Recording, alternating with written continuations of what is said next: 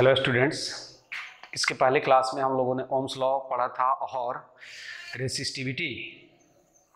के बारे में देखा था है ना आज हम देखेंगे कि जो रेसिस्टेंस होता है किसी भी कंडक्टर का वो किस किस चीज़ पे डिपेंड करता है तो मैंने ये आप लोगों को बताया था कि रेजिस्टेंस इक्वल टू क्या होता है रो एल अपॉन क्या होता है ए है ना आई मीन रेजिस्टेंस किसी भी कंडक्टर का क्या क्या चीज़ पे डिपेंड करेगा रेसिस्टिविटी पे लेंथ पे और क्या होगा एरिया पे है ना आई I मीन mean, बोल सकते हैं कि क्या होगा कि रेसिस्टिविटी क्या चीज़ पे डिपेंड करता है क्या चीज़ पे डिपेंड करता है resistivity depend on temperature of temperature of the conductor as well as nature of the material तो हम बोल सकते हैं कि रेजिस्टेंस भी होगा वो क्या क्या चीज पे डिपेंड कर सकता है रेजिस्टेंस क्या चीज पे डिपेंड करेगा length of the conductor area of cross section of the conductor as well as as well as temperature and nature of the material by which the resistor और कंडक्टर इज मेड ऑफ ठीक है उस पर क्या होगा depend करेगा तो हमने लिखा resistance of a conductor depend on पहला क्या है length of the conductor that is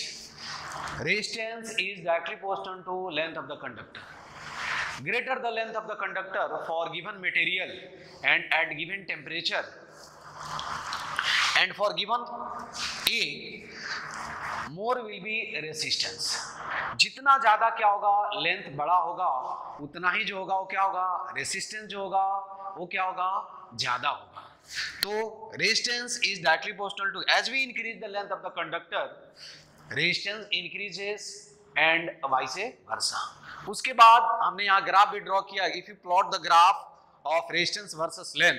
at constant density sorry as constant resistivity and constant cross sectional area then it will be straight line if the R versus length of a conductor graph is given then slope will give ratio of resistance upon cross sectional area i mean ratio of resistance and cross sectional area उसके बाद जो second factor है जिस पे resistance जो है वो depend करता है वो क्या है area of cross section area of cross section का मतलब क्या हुआ देखो यही कंडक्टर है इसको हम बोलते हैं एरिया ऑफ क्रॉस सेक्शन है ना आई मीन करंट के फ्लो के परपेंडिकुलर जो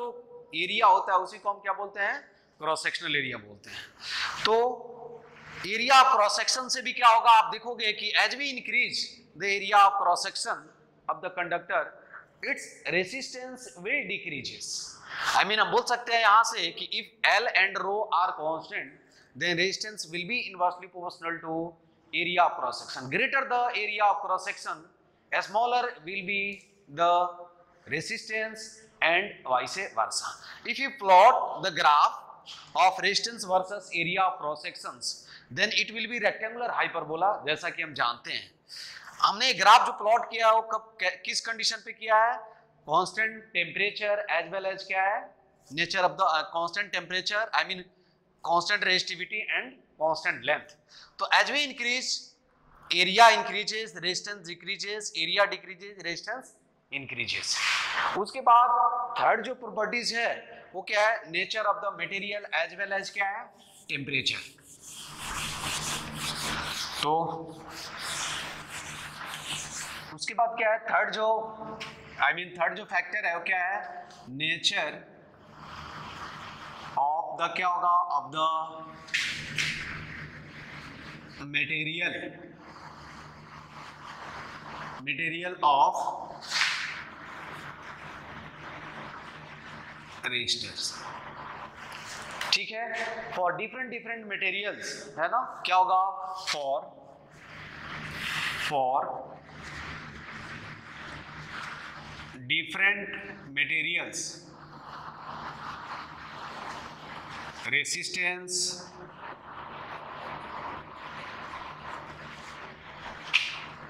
resistance for different material resistance will be क्या होगा विल बी डिफरेंट जैसे ही आप क्या करोगे मटेरियल के नेचर को आप क्या करोगे मान लो कि कॉपर हमने यूज किया है उसके जगह हम सिल्वर यूज कर देंगे एल्यूमिनियम यूज कर देंगे तो जो रेजिस्टेंस होगा वो क्या हो जाएगा चेंज हो जाएगा ठीक है तो for different materials resistance will be different उसके बाद जो इम्पोर्टेंट पॉइंट है वो क्या है टेम्परेचर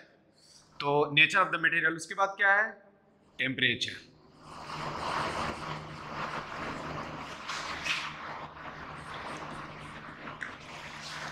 अब देखो क्या है हम यहां से बोल सकते हैं कि यदि क्या होगा देखो आर इक्वल टू क्या होता है रो है ना एल अपॉन क्या होता है एल अपॉन ए अब यहाँ देखा गया है एक्सपेरिमेंटली ये चीज देखा गया है कि एज भी आप लोग जानते हैं कि थर्मल एक्सपांसन में हमने पढ़ा था कि जैसे ही आप टेम्परेचर बढ़ाओगे वैसे क्या होगा इसका लेंथ भी चेंज होता है और क्रॉस सेक्शनल एरिया भी क्या होता है तो एज भी चेंज होता है तो एज भी चेंज एज भी क्या होगा एज भी चेंज द टेम्परेचर ये क्या होगा एल एंड ए जो होगा उसका रेशियो क्या होगा हमेशा क्या होता है कॉन्स्टेंट होता है ठीक है क्या होता है कॉन्स्टेंट होता है I mean L upon A क्या हो जाएगा कॉन्स्टेंट हो जाएगा क्यों क्योंकि एल अपॉन जिस रेशियो में एल बढ़ता है उसी रेशियो में क्या होता है ए बढ़ता है इसलिए इनका जो रेशियो माना गया है वो क्या है कांस्टेंट माना गया है तो यहां से हम बोल सकते हैं कि आर इज डायरेक्टली पोस्टनल टू क्या होगा रो आर इज डायरेक्टली पोस्टनल टू क्या होगा रो होगा तो हम बोल सकते हैं कि जैसे जैसे आप आपको ही मालूम है ये भी क्या होता है डायरेक्टली पोस्टनल टू क्या होता है टेम्परेचर होता है तो हम बोल सकते हैं कि जैसे जैसे रेसिस्टेंस आई मीन टेम्परेचर बढ़ाओगे वैसे वैसे कंडक्टर का रेसिस्टेंस क्या होगा बढ़ेगा अब एग्जैक्ट जो रिलेशन आता है ठीक है वो क्या आता है ये ध्यान रखना है कि as we increase the temperature resistance क्या होगा of the conductor increases and vice versa तो हम बोल सकते हैं यहां क्या बोल सकते हैं कि देखो R is equal to R naught to one plus alpha delta T R क्या है resistance at temperature at any temperature ठीक है एट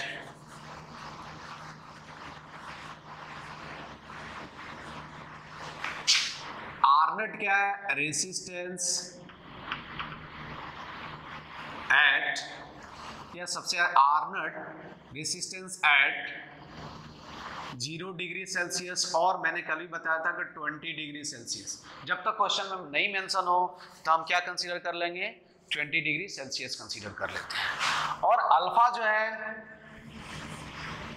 अल्फा क्या है temperature temperature coefficient coefficient of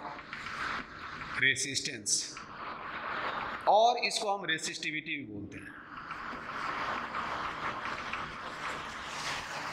इसको हम ऐसे भी लिख सकते हैं देखो यदि हम ये जीरो डिग्री सेल्सियस कंसीडर कर ले तो यहां से आप ऐसे भी लिख सकते हो कि R R equal to R naught into क्या होगा वन प्लस अल्फा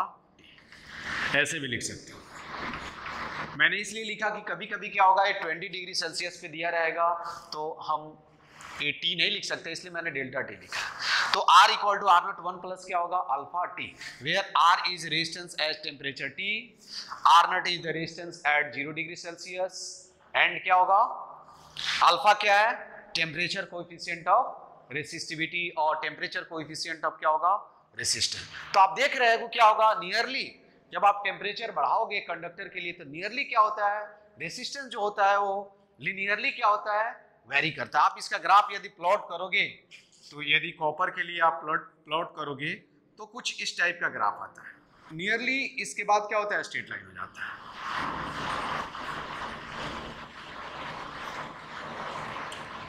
टेम्परेचर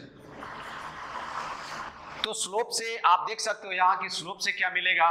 यदि स्लोप से आप देखोगे तो स्लोप से क्या मिलेगा टेंजेंट का ड्रॉ करोगे ये alpha I mean theta equal to तो स्लोप इक्वल टू हम लिख सकते हैं यहाँ स्लोप इक्वल टू क्या होगा आर नट इंटू क्या होगा अल्फा ठीक है तो ये रेजिस्टेंस क्या है कि अकॉर्डिंग टू क्या मीन क्या है according to this relation resistance of a conductor varies linearly with temperature फिर से देखो आर इक्वल टू क्या है resistance at any temperature T R not क्या है resistance at zero degree Celsius और ट्वेंटी डिग्री सेल्सियस अल्फा क्या है टेम्परेचर कोफिशियंट ऑफ रेसिस्टिविटी और रेसिस्टेंस टी क्या है टेम्परेचर टी क्या है टेम्परेचर है ठीक है तो आपको ये चीज ये बहुत ही इंपॉर्टेंट रिजल्ट है इससे क्वेश्चन हमेशा पूछा जाता है ठीक है R equal to R naught into one plus alpha T क्या होगा R equal to R naught into one plus alpha T तो रेसिस्टेंस जो होगा वो टेम्परेचर के साथ क्या होगा कंडक्टर के केस में क्या होगा लिनियरली क्या होगा इंक्रीज करेगा मोस्टली लिनियरली ये थोड़ा सा ये इसका भी कुछ रीजन होता है नहीं तो ये क्या होता है मोस्टली क्या है लिनियरली क्या होता है इंक्रीज करता है जैसे जैसे आप टेम्परेचर बढ़ाओगे वैसे वैसे रेसिस्टेंस क्या होगा कंडक्टर के केस में लिनियरली बढ़ेगा और जैसे जैसे आप टेम्परेचर कम करोगे वैसे ही क्या होगा लिनियरली क्या होगा डिक्रीज होगा ठीक है तो उसके बाद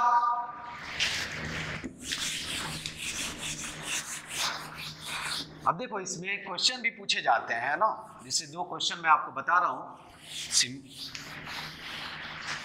उसके बाद और आप मैं आपको इस पे सीट भेज दूंगा सीट सेंड कर दूंगा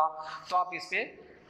जो प्रॉब्लम बेस्ड होगा उसको आप सॉल्व कर सकते हो दो क्वेश्चन है जो मैं बता रहा हूँ आपको है ना जैसे कि एग्जाम्पल के लिए देखो ये बहुत ही अच्छा क्वेश्चन है जी में आया भी है आई I मीन mean, इसको इंपॉर्टेंट लिख सकते हैं कि two conductor I mean two question क्या है two conductors having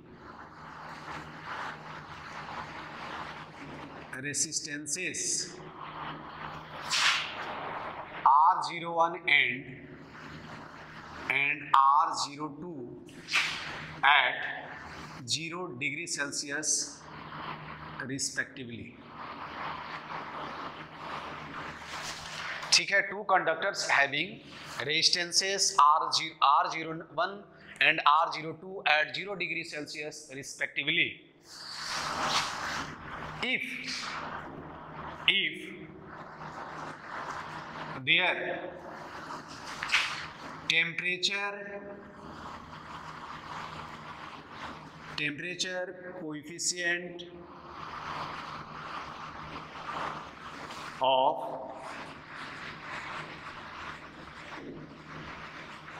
resistivities are alpha 1 and alpha 2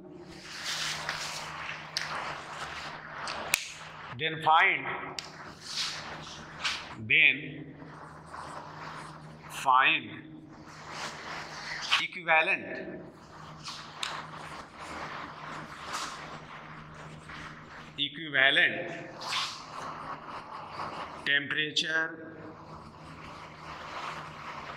coefficient if a में क्या है they are joined in series ठीक है बी में क्या है they are joined in parallel they are joined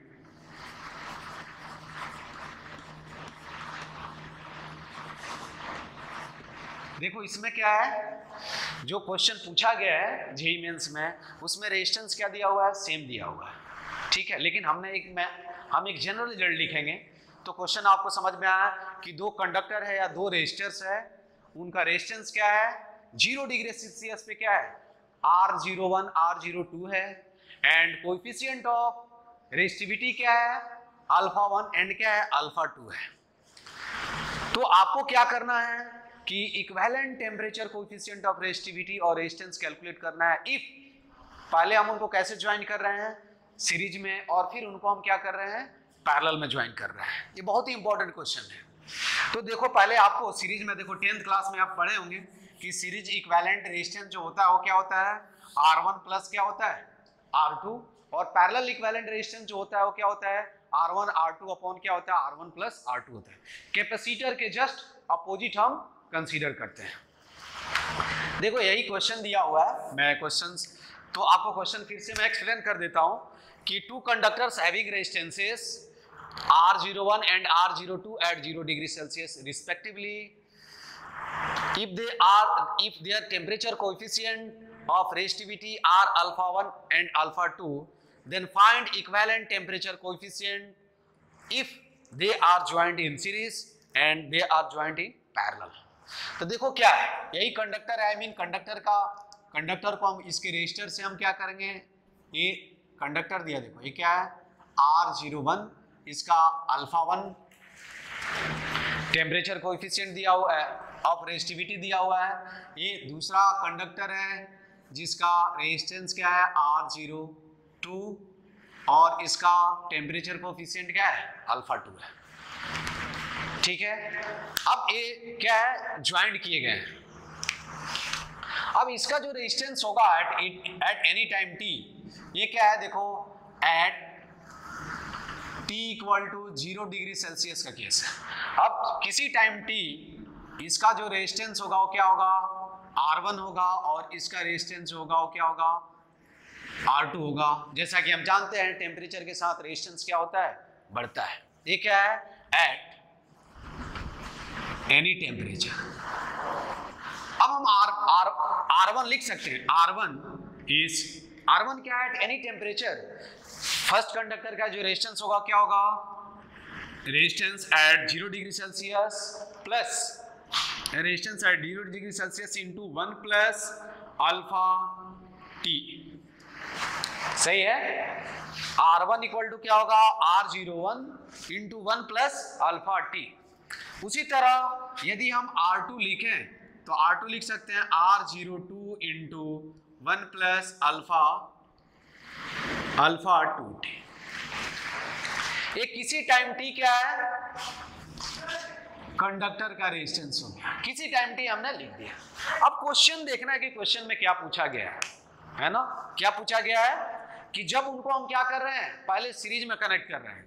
तो फर्स्ट का जो ए में जो क्वेश्चन दिया हुआ है कि if they are connected in series यही होगा ना देखो तो सीरीज में जब हम कनेक्ट कर देंगे तो यही क्या होगा R one a R two ठीक है इस अब इनका आर इक्वेलेंट कैसे कैलकुलेट करेंगे तो R S series equivalent equal to क्या होगा R one plus R two क्या होगा R one plus R two series में हम क्या करते हैं सिंपल उनको क्या करते हैं ऐड कर देते हैं हम पढ़ेंगे अभी ये टेम्परेचर से रिलेटेड क्वेश्चन था इसलिए मैं यहां आपको एक्सप्लेन कर रहा हूं तो आर एस इक्वल टू क्या होगा R one plus R two अब R1 R2 का हम वैल्यू यहां से रख सकते हैं देखो R1 इक्वल टू क्या है R01 zero one into one plus alpha alpha one T ठीक है और R2 इक्वल टू क्या R zero two into one plus alpha two T अब हम क्या करेंगे वैल्यू रखेंगे इस रिलेशन में तो आई I मीन mean, यहां क्या है ए में क्या है ए में लिख सकते हैं वेन दे ज्वाइंट है ना दे ज्वाइंट इन सीरीज ठीक है तो यहां क्या होगा आर एस इक्वल टू लिख सकते हैं आर एस इक्वल टू देखो तो क्या लिख सकते हैं R zero one plus R zero one into one plus alpha one T plus R zero two into one plus alpha two T सही है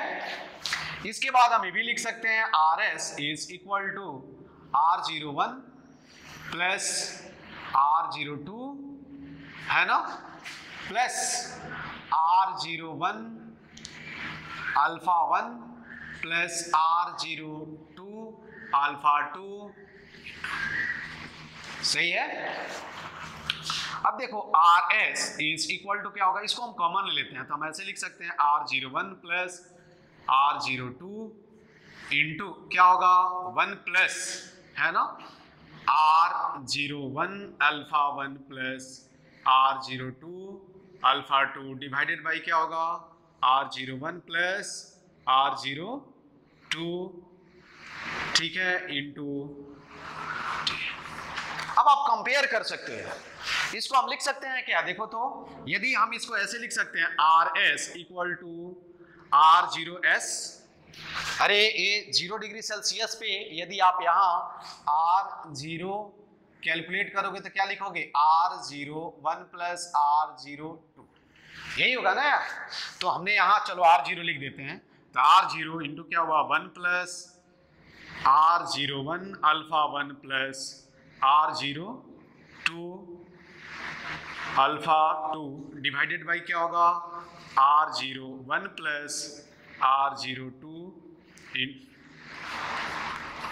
अब आप कंपेयर करोगे तो देखो तो इसे कंपेयर करो इसे तो देखो तो टी का जो कोइफिशियंट होता है वही क्या होता है अल्फा होता है क्या तो हम बाई कंपेयरिंग स्टैंडर्ड रिलेशन हमको क्या मिलेगा हम सिंपल लिख सकते हैं by comparing comparing standard equation we get क्या मिलेगा देखो तो आर इक्वेलेंट आई मीन क्या होगा अल्फा इक्वेलेंट इसको मैं अल्फा एस लिख देता हूं ठीक है तो यहां हम लिख सकते हैं अल्फा एस इक्वल टू क्या होगा R zero one alpha one plus R zero two alpha two divided by क्या होगा R zero one plus R zero two ये बहुत ही इंपॉर्टेंट रिजल्ट है इसको याद करना चाहिए है ना रट जाना चाहिए है ना इसको याद करना जरूरी है देखो तुमको हमेशा क्या करना है जब भी मुझे कोई चीज़ फाइंड आउट करना है तो स्टैंडर्ड रिजल्ट से हम क्या करते हैं कंपेयर करते हैं तो हमने यहाँ अल्फा एस इक्वल टू क्या लिखा R zero one alpha one plus R zero two alpha two upon sum of both the resistance ठीक है क्या है sum of both the resistance अब यदि अब मान लो कि यहां हम एक ट्रिक भी लिख सकते हैं यदि एन नंबर ऑफ रेजिस्टेंस दिया हुआ है तो हम क्या लिखेंगे बता सकते हो आप देखो तो क्या लिखेंगे कंपेयर देखो इधर ध्यान से R zero one alpha one plus R zero two alpha two upon R zero one plus R zero two and so तो यहां हम लिख सकते हैं देखो तो यहां if if N resistors are given ये आपको समझ में आया ना मैं पूरे क्वेश्चन नहीं लिखूंगा I mean N resistors are given तो यहाँ क्या हो जाएगा अल्फा एस क्या हो जाएगा देखो तो हम ऐसे लिख सकते हैं R zero one alpha one plus R zero two alpha two plus R zero three alpha three plus plus divided by R zero one plus R zero two plus R03 and so on ये standard result हो गया है ना ये series में parallel में ऐसा नहीं होगा पैरेलल में कुछ अलग होगा यहाँ एक पॉइंट ये हो गया यदि मैं मान लूं कि if R zero one equal to R zero two equal to R zero three and so on R zero N equal to क्या हो आर हो या आर नट हो या आर हो आर हो तो हम क्या लिख सकते हैं अल्फा एस देखो क्या लिखते हैं alpha one plus alpha two plus alpha three plus alpha N divided by क्या होगा एन होगा तो यहां से आप देख सकते हो कि series equivalent temperature coefficient of resistivity resistivity will भी क्या होगा अरिथमेटिक मीन ऑफ क्या होगा all temperature coefficient of resistivity यदि दो होता तो हम क्या लिखते यहां देखो दो होता तो क्या alpha one plus alpha two by क्या हो जाएगा टू हो जाएगा तो ये चीज आपको क्या करना है ध्यान देना है इंपॉर्टेंट है है ना ये दूसरा क्वेश्चन क्या था दूसरा क्या है कि यदि इनको पैरेलल में हम कनेक्ट करें आप सोच सकते हो कि देखो यही कॉन्सेप्ट यूज करना है सीरीज के लिए अब हम क्या करेंगे पैरेलल में कनेक्ट करेंगे तो कैसे सोचेंगे आप बता सकते हो देखो क्या करेंगे फिर क्वेश्चन बी में क्या है if both conductors conductors are connected connected in parallel ठीक है जब दोनों को हम पैरल कनेक्ट कर देंगे तो देखो यहां से पहले हम ये कैलकुलेट कर लें कि one upon R zero P is equal to क्या होगा one upon R zero one plus one upon R zero आप सीरीज और पैरल ये जानते हैं है ना ये ध्यान देना है ठीक है अब यदि मैं लिखूं ये जीरो क्या है एट जीरो डिग्री सेल्सियस यही होगा ना यदि उनको ये जीरो डिग्री सेल्सियस अब हमने क्या किया कि at any T degree Celsius क्या लिखेंगे one upon R P is equal to क्या करेंगे one upon R one plus क्या लिखेंगे one upon R two at any time at any any temperature हमने क्या किया है किसी टेम्परेचर टी पे पैरेलल इक्वेलेंट का फॉर्मूला लिखा अब वैल्यू रखेंगे अब देखो one upon R P is equal to क्या होगा one upon R zero one into one upon alpha T T plus one upon R zero two into one plus alpha यही होगा अब हम ये भी लिख सकते हैं क्योंकि देखो अल्फा का जो वैल्यू होता है कंडक्टर के लिए बहुत ही कम होता है ten S to minus four ten S to minus five के टर्म में होता है ठीक है तो हम यहां ये लिख सकते हैं कि देखो अल्फा बहुत ही स्मॉल है तो अल्फा इंटू टी जो होगा वो भी क्या होगा और आपको मैंने बताया था कि ये जो रिलेशन हम लिखते हैं 100 डिग्री सेल्सियस से बिलो के लिए ही लिखते हैं किसी टेम्परेचर के लिए हम इसका यूज नहीं कर सकते हैं पहले तो ये रिलेशन क्या है इस रिलेशन में अल्फा शुड भी कॉन्स्टेंट एंड टेम्परेचर शुड भी क्या होना चाहिए ऑल्सो क्या होना चाहिए बिलो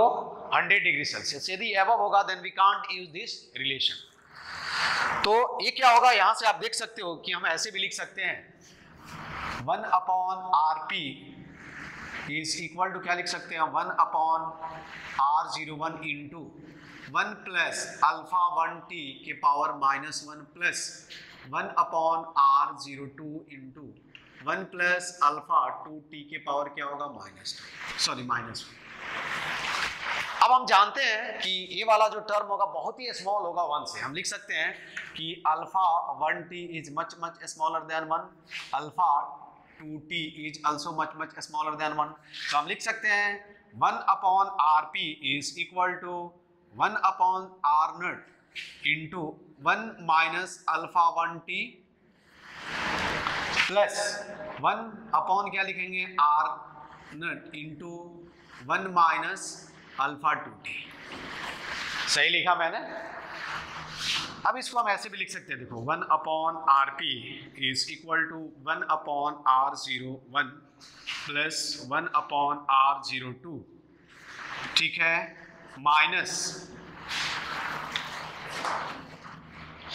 क्या लिख सकते हैं माइनस देखो तो alpha one upon R zero one plus alpha two upon R zero two into T लिख सकते हैं ऐसे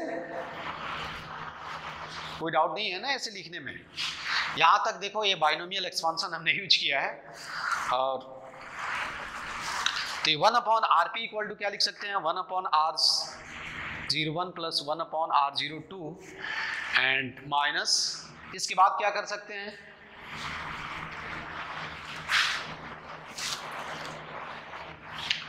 अब देखो हम ऐसे लिख सकते हैं क्या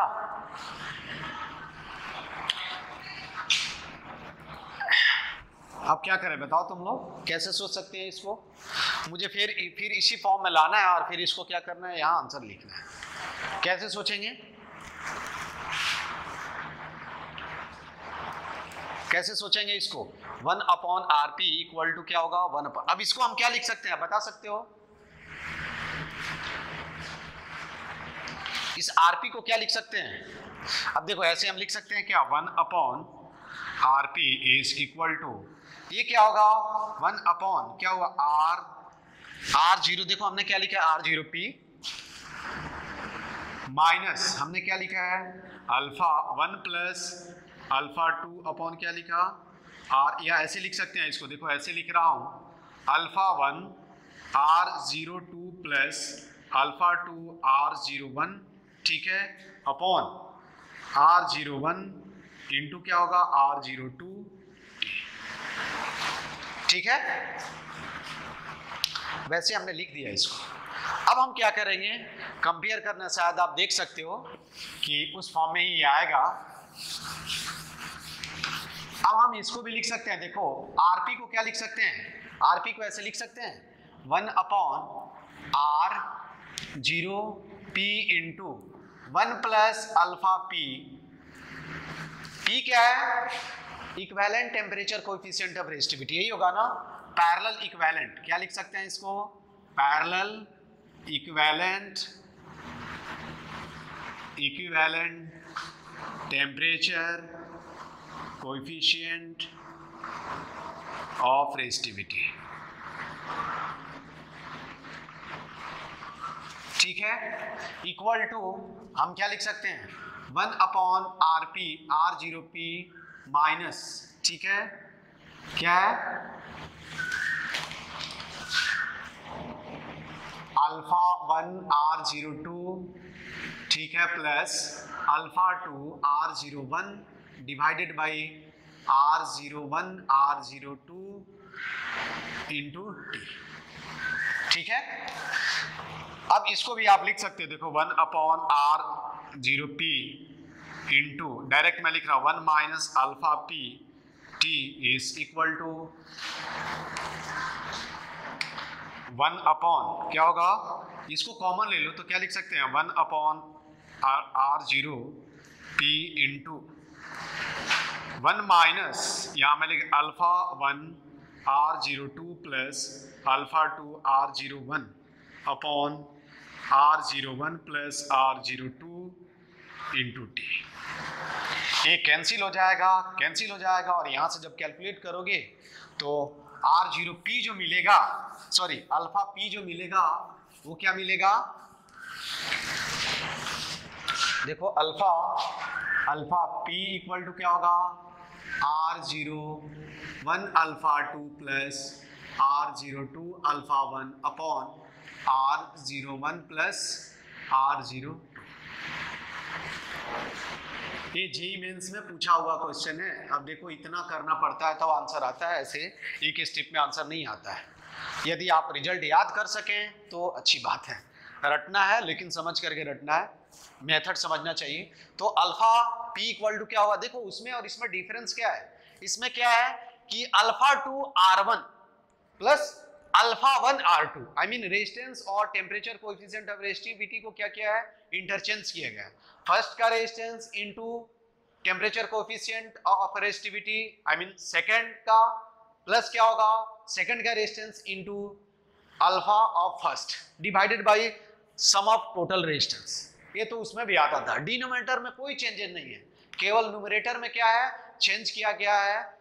इंटरचेंज कर दिया गया है I mean resistance of first into alpha of second plus resistance of second into alpha of first.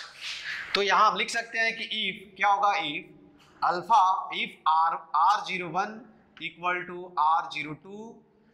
equal to R हो तो हम लिख सकते हैं अल्फा पी इक्वल टू क्या होगा alpha one alpha two by क्या होगा टू तो ये पूछा गया ये नहीं पूछा गया तो मैंने जनरल बता ये आप जब प्रॉब्लम सॉल्व करोगे तो आपको मिलेगा कि सीरीज में देखो अल्फा पी और अल्फा एस तो यहाँ लिख देता हूँ अल्फा एस भी क्या होगा alpha one plus alpha two by क्या होगा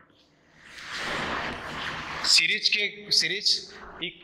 series equivalent of temperature coefficient of resistivity and parallel equivalent of temperature coefficient of resistivity will be same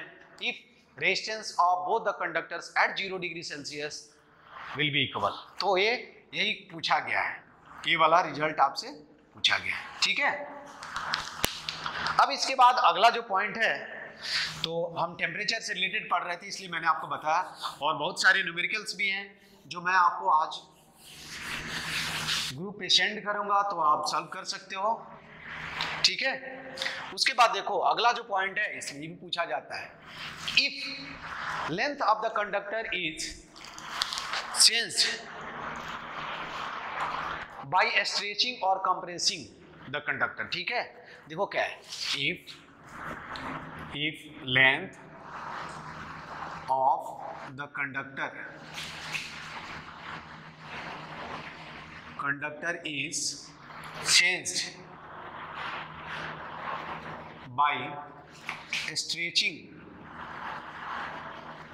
stretching और कंप्रेसिंग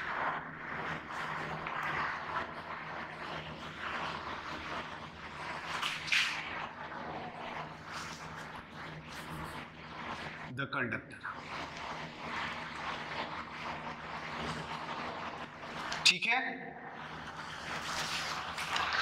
अब देखो क्या होगा यहां if the length of the conductor is changed by stretching और compressing the conductor that is देखो ये क्या है यही एक कंडक्टर है ठीक है इसका लेंथ क्या है एल दिया हुआ है ये क्रॉस सेक्शनल एरिया है ध्यान से देखना यहां क्या है अब हमने क्या किया इसको स्ट्रेच कर दिया स्ट्रेच करके यहाँ क्या किया लेंथ को हमने एन टाइम्स कर दिया ये कितना हो गया एन इंटू क्या हो गया एल हो गया केवल हम क्या कर रहे हैं स्ट्रेच कर रहे हैं इसमें कोई पार्ट क्या है स्ट्रेच किया आफ्टर स्ट्रेचिंग ठीक है और यहां हमने क्या किया कंप्रेस किया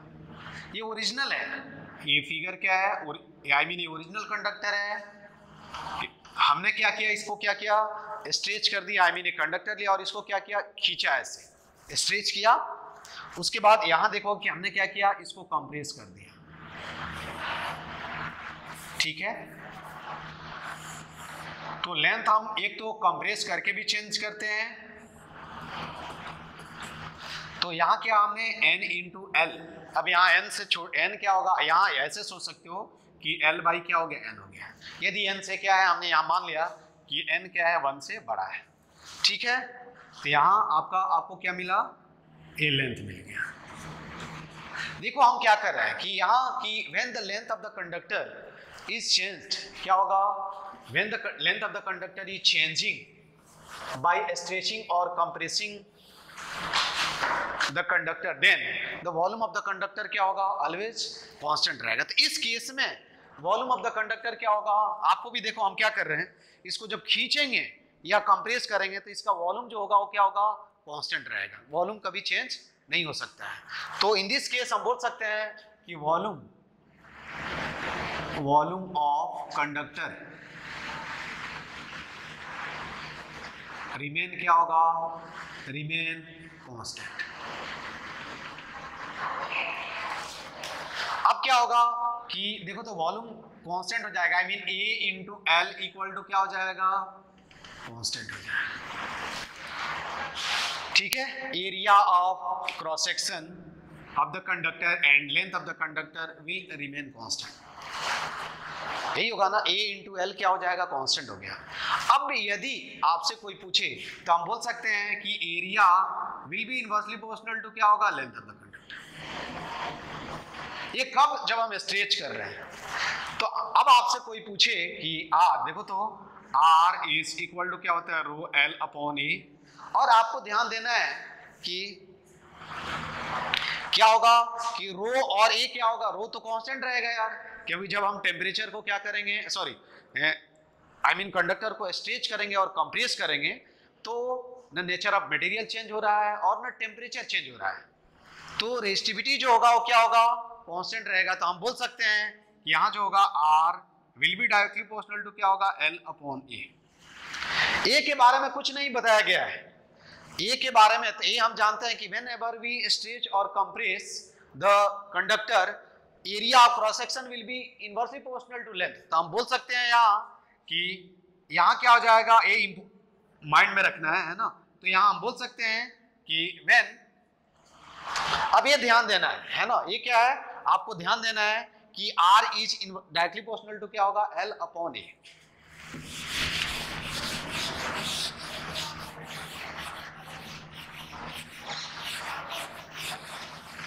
तो यहां क्या होगा हम बोल सकते हैं कि आर विल बी डायरेक्टली पोस्टनल टू क्या होगा एल स्क्वायर क्यों क्योंकि एरिया जो है वो क्या है इनवर्सली प्रोपोर्शनल टू लेंथ है ठीक है तो r is directly proportional to क्या होगा l square I mean if we change the क्या होगा length of the conductor I mean हम बोल सकते हैं कि यहां से हम बोल सकते हैं कि r1 upon r2 equal to क्या होगा l1 अपॉन क्या हो जाएगा l2 l1 upon l2 the whole square ठीक है तो हम लिख सकते हैं कि वेन क्या होगा when length of the conductor of the conductor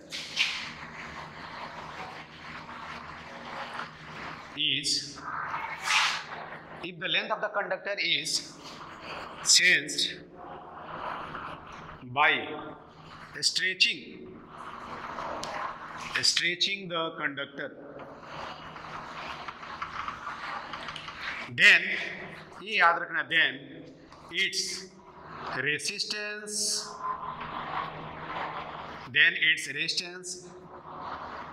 then its resistance R will be directly proportional to क्या होगा L square ये याद रखना है क्या है ये आपको माइंड में रखना है यहाँ यदि आप रेजिस्टेंस वर्सेस इस केस में R वर्सेस L का जब ग्राफ ड्रॉ करोगे तो क्या मिलेगा आपको पैराबोला मिलेगा ठीक है अब यहाँ एक और क्वेश्चन पूछा जाता है जो मैंने बताया भी था कि length of the conductor is change changed X percent देखो ध्यान से इफ लेंथ ऑफ द क्या होगा of the conductor conductor is changed by x percent while stretching stretching or compressing compressing the conductor then percentage change then percentage change in resistance मैंने ये बताया था आप लोगों को कि परसेंटेज कैसे जब बेसिक्स मैथ्स पढ़ा रहा था तो ये चीज़ बताया भी था then percentage change in resistance is given as क्या होगा देखो percentage change percentage change in R is equal to क्या होगा one plus minus X upon hundred के पावर टू तो if the length of the conductor is change by X percent while stretching और compressing the conductor then the percentage change in resistance is given as one plus minus X upon hundred के power two आप कोई value आ रख सकते हो और check कर सकते हो आंसर ठीक है तो यदि आप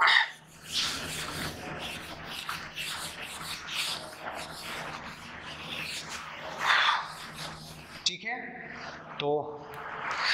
तो क्या होगा वन प्लस अब आपसे मैं बोलूं कि इफ इफ देखो यहाँ इफ हम बोल सकते हैं इफ एक्स इक्वल टू क्या होगा ट्वेंटी फाइव तो ट्वेंटी फाइव होगा देन हम बोल सकते हैं then change in percentage change in R equal to क्या होगा देखो आई मीन इफ एक्स तो one plus minus twenty five upon क्या होगा हंड्रेड के पावर टू तो यहाँ क्या लिख सकते हैं one plus minus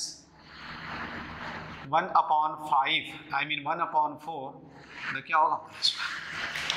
अब आपको भी मालूम है कि टीक यहाँ क्या है यहाँ एक चीज़ लिख लेना take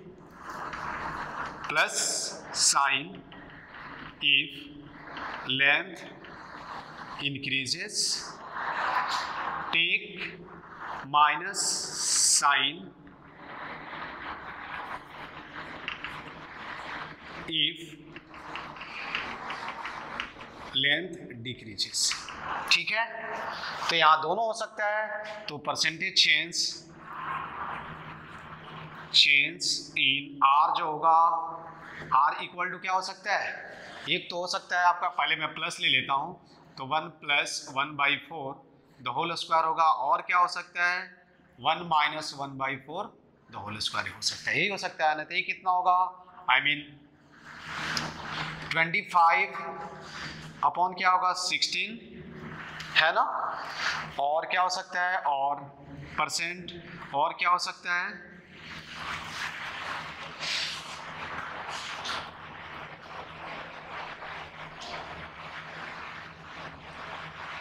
ठीक है तो ये कितना होगा आई मीन पच्चीस upon sixteen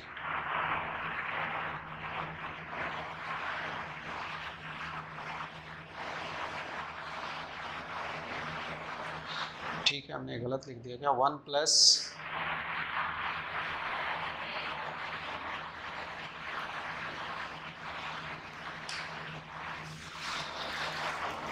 change in resistance is given as change in R, I mean 1 plus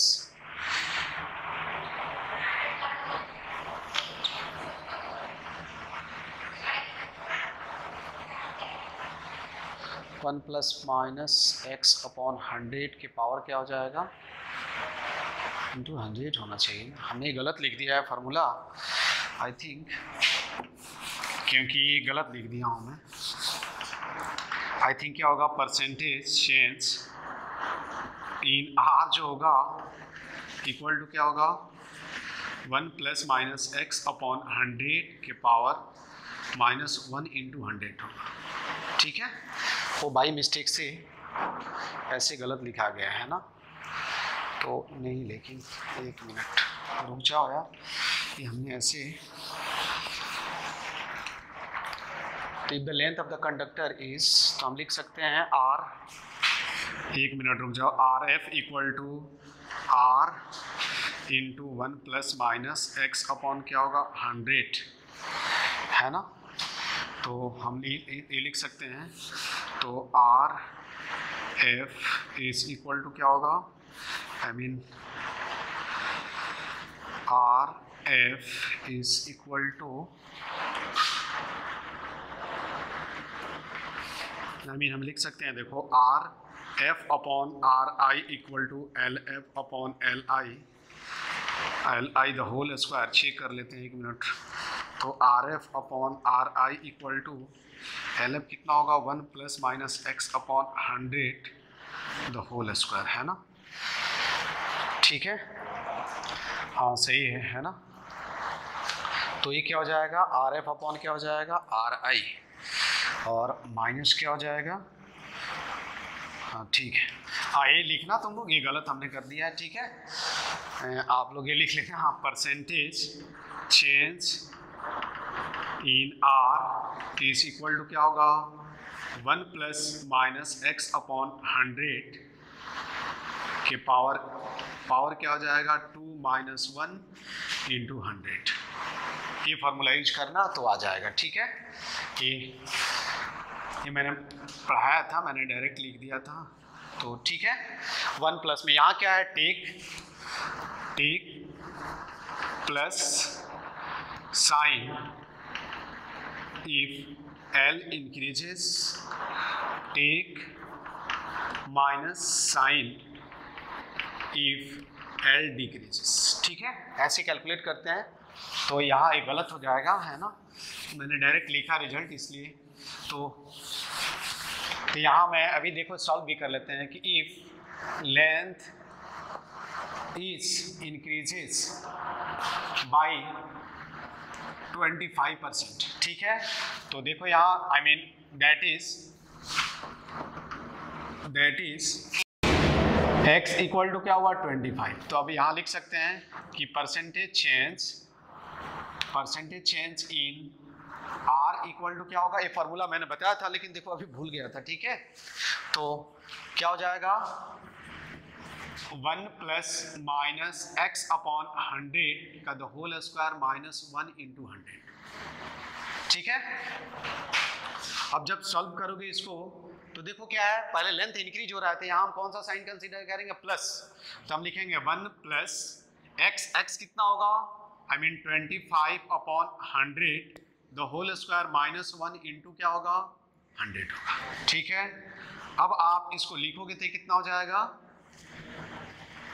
I I mean mean, तो देखो twenty I mean five one plus one by four the whole square minus one into hundred तो यहाँ से भी लिख सकते हैं क्या लिख सकते हैं I mean twenty five upon कितना होगा sixteen minus one into hundred ठीक है तो ये कितना हो जाएगा nine upon sixteen into hundred ठीक है तो ये देख सकते हो कि कितना परसेंट जो होगा वो क्या हो जाएगा लेंथ चेंज हो जाएगा ठीक है तो हम लिख सकते हैं इसको सिंप्लीफाई करोगे तो कितना हो जाएगा देखो ठीक है तो ये आप सिंप्लीफाई करोगे तो कितना हो जाएगा परसेंटेज चेंज इन जो लेंथ होगा percentage change in sorry percentage change in R is equal to कितना हो जाएगा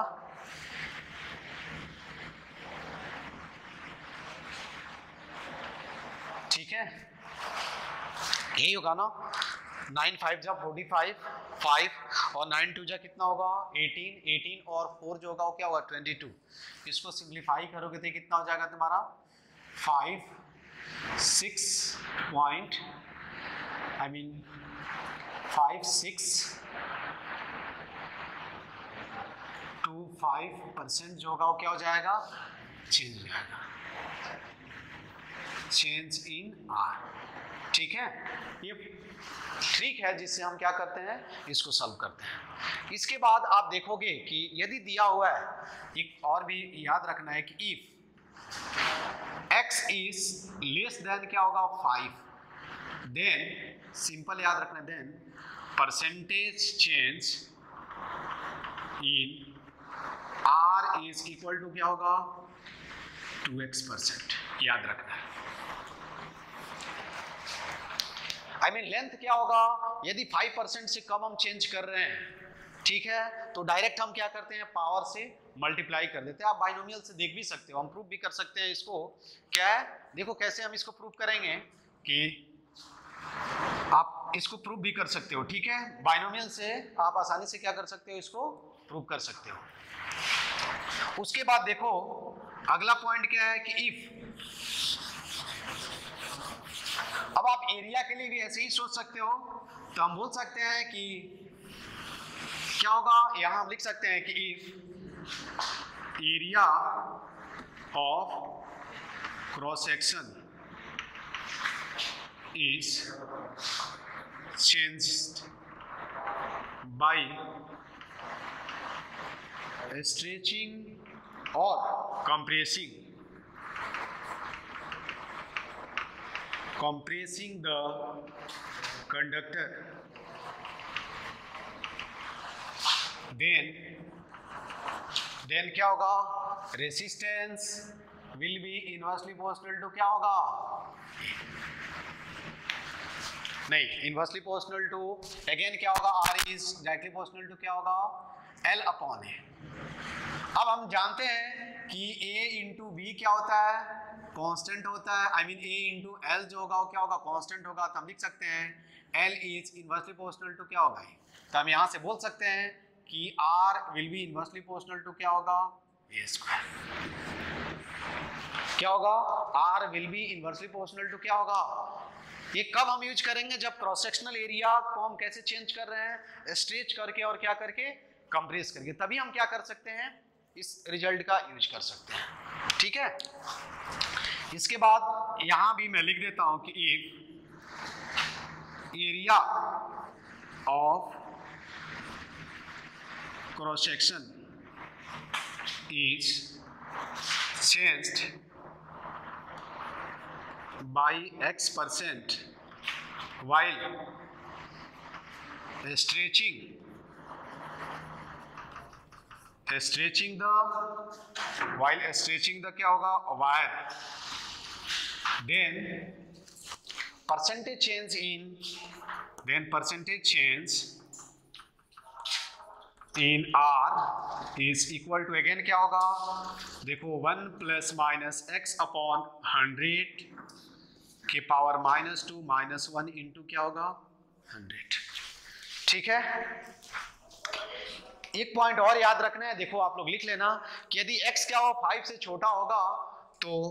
परसेंटेज चेंज कितना हो जाएगा माइनस टू एक्स परसेंट हो जाएगा ये आप इसको नोट कर लेना ठीक है इसके बाद हम नेक्स्ट क्लास में इसे आगे पढ़ेंगे ठीक है ओके थैंक यू